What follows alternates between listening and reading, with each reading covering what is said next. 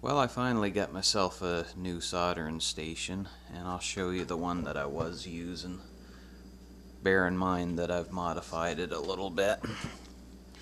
Um, this is just a cheapie that I bought probably about six months ago, and the soldering iron finally broke, so I just uh, stripped all the stuff out of the inside, which really wasn't that much. There's just one little circuit board right here. I put a DC jack in and wired it to this switch so that now I can plug a 12 volt adapter in and uh, I have a little desktop fan for uh, blowing the smoke away for now but this will eventually be a fume extractor I just ordered some uh, carbon filters. And I'm hoping that I can box that in and figure out some way to make a make a fume extractor. But anyway let's get back to the soldering station. So this is a Yihua somebody will have to correct me on that pronunciation because I'm not quite sure. Uh, it's a 937D and I haven't really seen any reviews online for this particular model. I've seen the 937D Plus and the 936 I think it was. And the 936 had no uh, no digital display. But if I turn it on oh crap I don't have the soldering iron plugged in. Alright so now let's turn it on So you can switch it with this little button from uh, Celsius to Fahrenheit and then just adjust it with this knob and obviously this is your uh, soldering iron and the calibration pot down in here. And there really isn't much besides the power switch on the on the side and the plug in the back that's about it.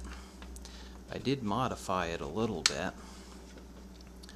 I put some rubber feet on the bottom of it because it didn't have any and on the back here too and that just keeps it from sliding around too much so anyway that's about it for that and the soldering iron so far I don't mind it it's pretty good I did do a quick mod to the handle.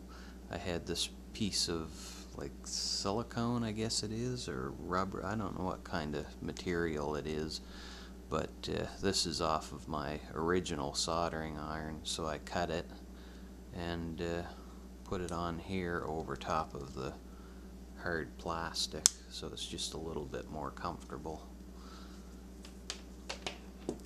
and the stand is nothing special.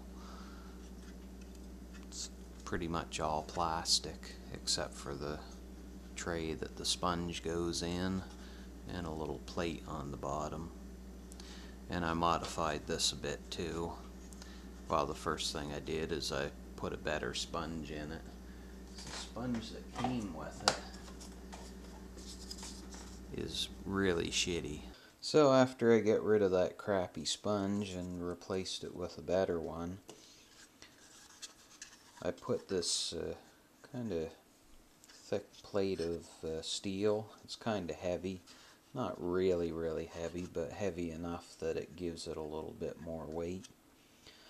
So I double-sided taped this down, and then I took some, if I can find what I did with it, um, yeah, I don't know what I did with it right offhand, but this aluminum sort of furnace duct tape, it's really sticky, and I uh, stuck this uh, down with that just because that double-sided tape wasn't holding it very good. And then I put some rubber feet on this too.